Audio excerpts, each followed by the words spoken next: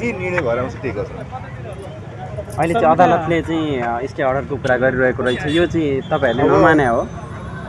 अब यसमा चाहिँ तपाईँहरूको क्वेसनिङ गलत छ। किन क्वेसन छ भने खोइ त कहाँ छ भने मेरो हातमा ल्याइहाल्नुहुन्छ नि उहाँले।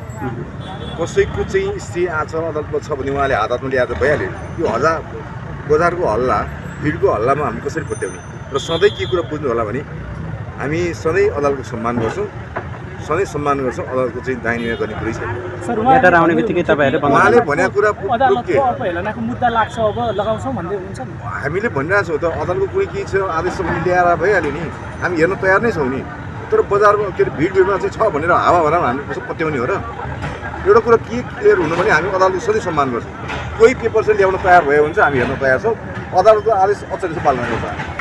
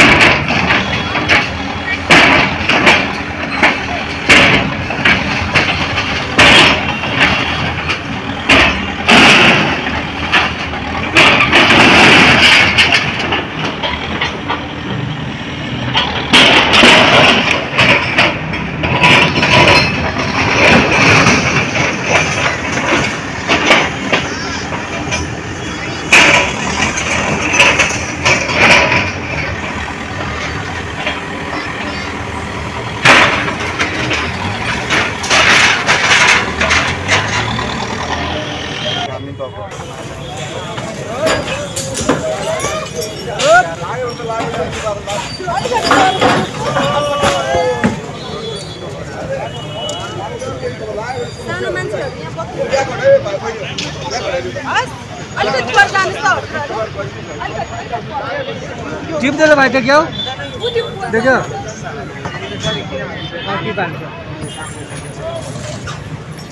दर्शकवृन्द भर्खरै हामीले एउटा सूचना पायौँ। जो यही स्कुल यही संस्थाको संस्थापक हुनुहुन्छ भद्रकुमारी आमा जो तिरानब्बे वर्षकी हुनुहुन्छ। तिरानब्बे वर्षकी भद्रकुमारी आमा यति बेला बिहोस अवस्थामा आउनुहुन्छ बिहानदेखि अहिलेसम्म तिन पटक उहाँ बिहोस भइसक्नुभयो भन्ने कुराहरू आइरहेको छ।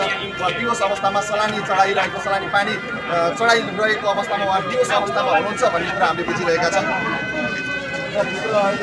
पूजाको कार्यक्रम पनि अगाडि बढिरहेको छ। अब यो घर यो भवन यो गुम्बा भत्काउने भइसकेपछि सरकारी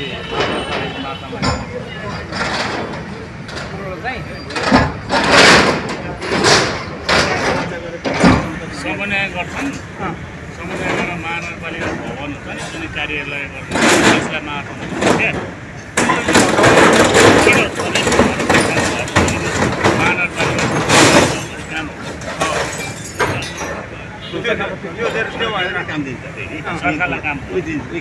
यस्तो गर्दा हुन्छ उसलाई व्यक्तिले जसले बनायो त्यसलाई समन्वय गरेर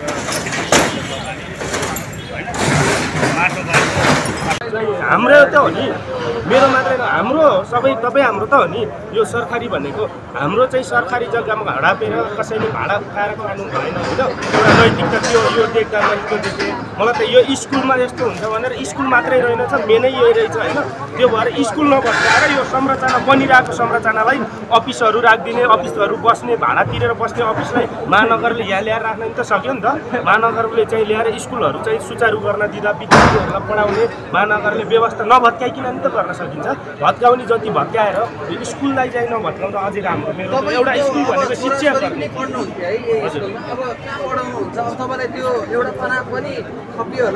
मलाई यस्तो छ मैले त अब छोराछोरी त के हुन्छ भने अब बालेन साजीले चाहिँ यो व्यवस्था हुन्छ विद्यार्थीलाई यहाँको विभाग विद्यार्थीलाई यो स्कुलको विद्यार्थीलाई हामी व्यवस्था मिलाउँछौँ।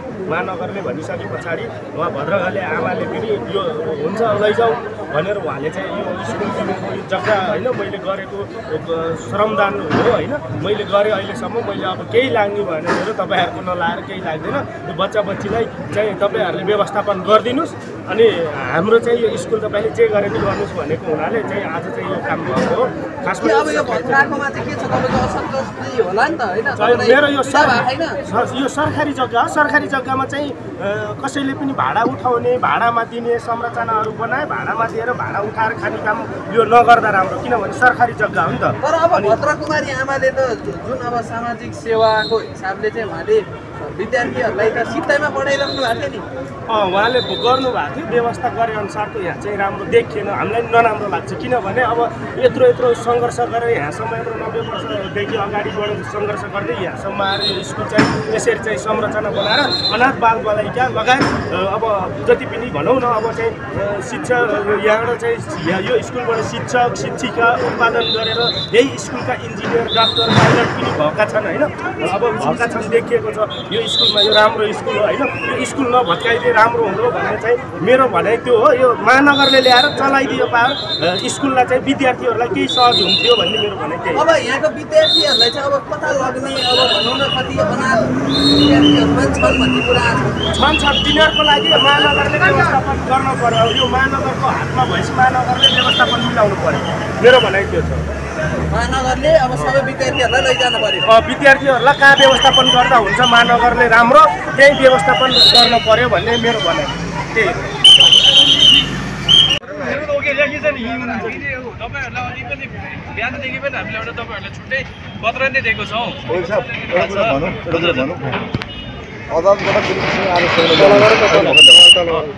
होइन पेपर ल्याउनलाई तपाईँको बस गर्दैमा त नि त? पेपर ल्याउनु नि त हातमा। पेपर ल्याउनको लागि त तपाईँको अदालतमा आफ्नो कार्यविधि छ। हो त। भएर आइसक्यो। तपाईँको अनलाइनमा हेर्नुहोस्। तपाईँले पाउनु होइन होइन तपाईँको पेपर पनि आउँछ। तर अहिलेको लागि तपाईँले रोकिदिनुहोस् भनेर अहिलेको लागि। तपाईँको तपाईँको होइन बस तपाईँलाई पेपर ल्याउनु तपाईँले सकिहाल्छ। पेपर लिएर पेपर ल्याउनु तपाईँले बस गर्दैमा काम रोकिँदैन पेपर ल्याउनै रोकिन्छ कुरा पाण्डे सर मैले तपाईँहरूलाई खालि विनम्र के अनुरोध गरेको भन्दाखेरि हामीले अहिले बस गरेर आइसक्यौँ। स्टेको पनि दिइसक्यो। ल्याउनुहोस्। ल्याउनुहोस् पेपर ल्याउनुहोस् रोकिन्छ पेपर ल्याउनु यसो छ फेरि हामीले आजको आज अहिले नै तर तपाईँले बसै गरेँ भन्ने आधारमा मेरो बस आधारको भने होइन तपाईँलाई। तपाईँ चाहिँ नबोल्न सक्छ तपाईँसँग बोले होइन मैले। उहाँहरूसँग कुरा गर्दैछु।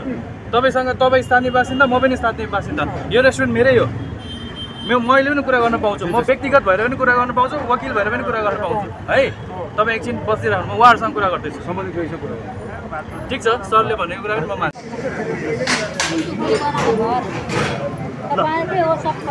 हुन्छ है त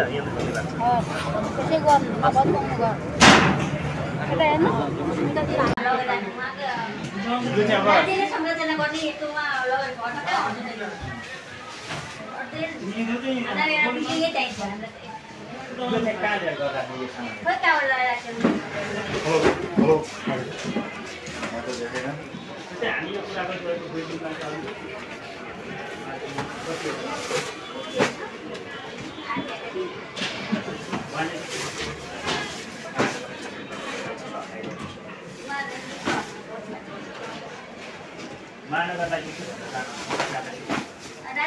संरचना गर्ने राज्यले दिने ठाउँमा यसरी फर्काउन मिल्दैन नि। अरू केही भन्नु छ तपाईँलाई?